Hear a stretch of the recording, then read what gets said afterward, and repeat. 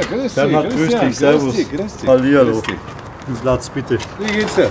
Geschäft ist tot. ja. Also wir haben natürlich äh, alles stillgelegt, alles aufgeräumt, viel Ware gespendet an die Tafel und Altenheime und natürlich geschaut, dass wir alles wegkriegen. Ähm, ist natürlich ein Wert von sagen wir, 40.000, 50.000 Euro, wo wir äh, entsorgt haben.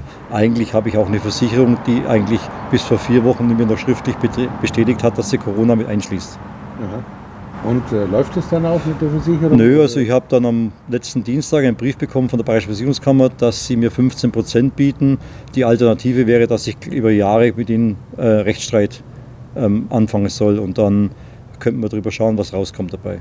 Wir haben die Problematik erkannt und haben eben die Bundesregierung jetzt aufgefordert, dass sie mit den Versicherungsgesellschaften in äh, Kontakt treten und diese eben dazu anhalten, dass sie das, was in den Verträgen drinsteht, dass das auch eingehalten wird und zwar zeitnah eingehalten wird, weil für viele ist es existenzbedrohend, wenn ich jetzt zum Klagen anfangen muss und dann in vier Jahren vielleicht erst mein Geld bekomme.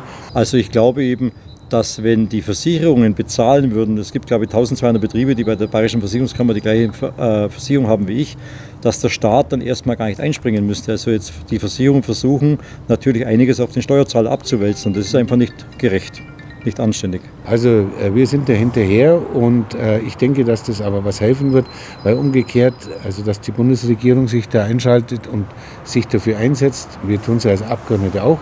Ich habe auch an die Versicherung geschrieben, weil die sind ja selbst dann auch oft auf Maßnahmen angewiesen und ich denke, dass da gewisse Vernunft dann doch relativ schnell einkehrt.